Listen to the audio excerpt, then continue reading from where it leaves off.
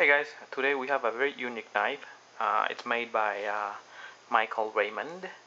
Uh, he's uh, from Florida, very nice uh, maker and uh, very responsive also and very um,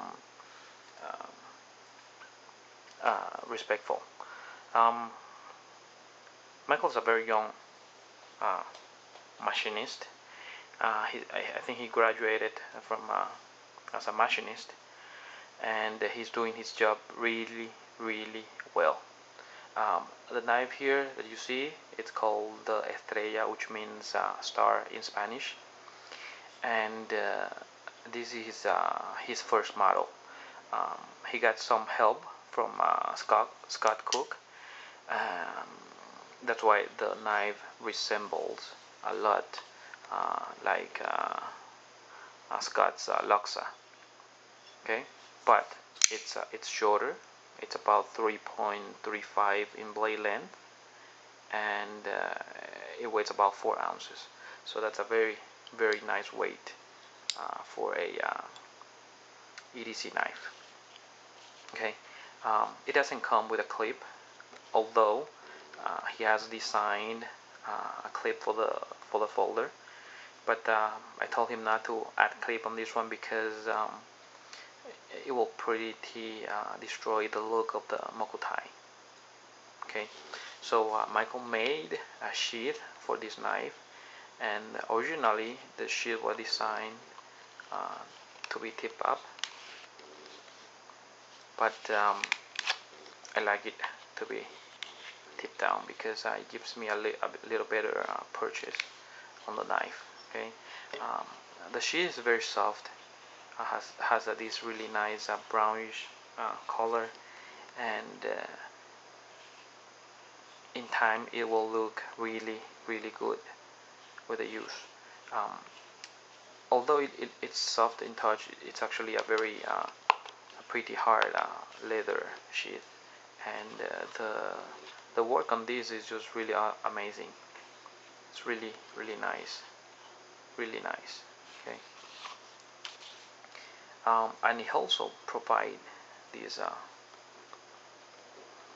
cool tool with a star on it. Uh, this cool tool is for uh, loosening the pivot so you can clean up the blade if you ever need to. Okay. Alright so back to the knife. Um, this is my first integral knife and integral meaning that uh, it's one piece the frame the frame lock the frame itself is one piece. There are no uh, standoff or uh, a backspacer.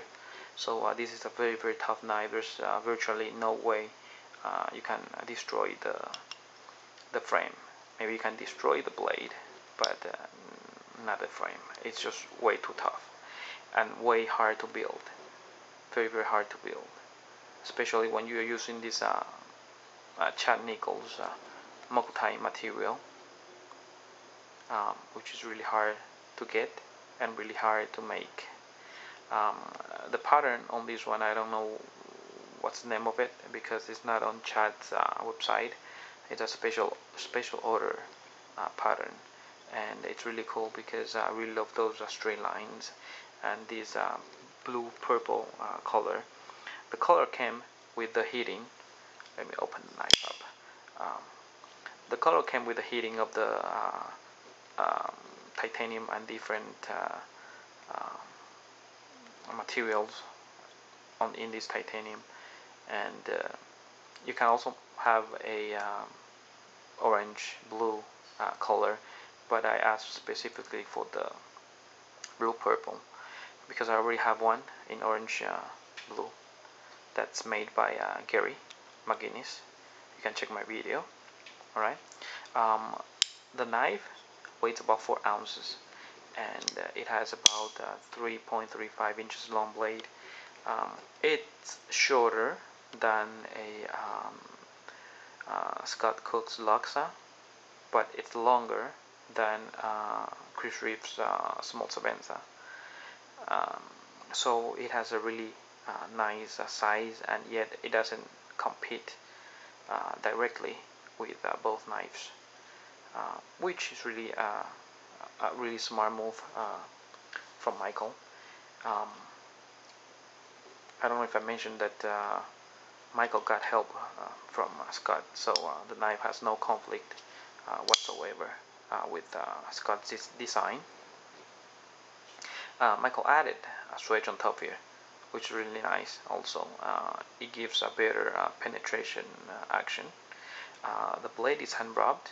To this reflective um, and yet blurry. I don't know if you can see the reflection of my fingernails there but that's how cool it is. It reflects but yet it's blurry.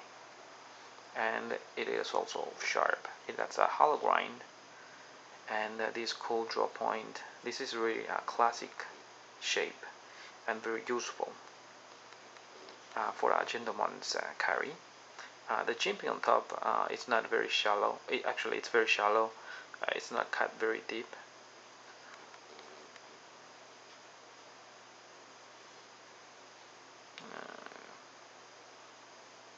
I'm sorry about the focusing right there. Um, so it doesn't give a lot of traction, but uh, works fine because uh, jimping or no jimping is not my uh, it's not a big deal for me on knife. Okay um, it has a really nice uh, choil here cut out here. So uh, when you hold the, the, knife in this position uh, it's it's very very comfortable very comfortable. Beside the knife is it's not going anywhere. Okay um, the thumb stud also is really very nicely designed. I really like it. I like it more than uh, Chris Reeves uh, thumb stud uh, because it has a lot of traction and uh, you can flick it out. Um, on Chris, Chris Reeves knife it's it's kind of like a pyramid that sometimes when you push down it uh, sticks into your uh, thumb. So I like this thumb stud better one-sided for right hand only and it's a blue anodized really nicely done. You can also get it in a 10k gold uh, with extra money of course.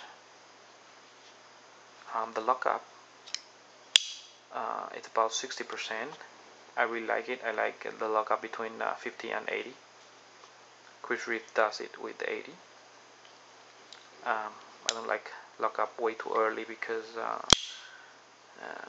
although it has a uh, an early lockup gives you place to uh, eat in but it just I feel unsecure okay? Knife is really really handsome. And um, I don't I don't know if, uh, Michael has closed his order book, but uh, I I know he has a very uh, long waiting list already. So if you place an order, you might have to wait I don't know, maybe half years now, or maybe close to a year. But uh, it's really worth it if you guys uh, have a chance and uh, go go place an order on one of his knives. Um, you can get the simple uh, titanium handles. Oh, and he also makes a new uh, design, which is a jig, uh, like a jig jigsaw carved, which is really cool. Actually, I have another one on order already uh, with plain titanium and uh, jigsaw uh, carvings from him. Love this knife. very very utilitarian, very handsome to look at, and it, it just works. The design just works. Weighs about 4 ounce, so perfect EDC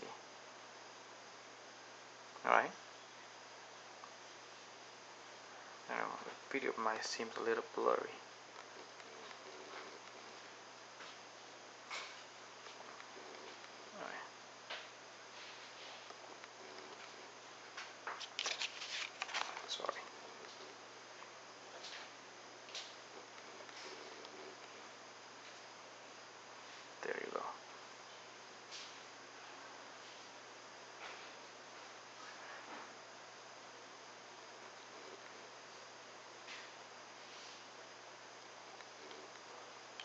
perfectly centered.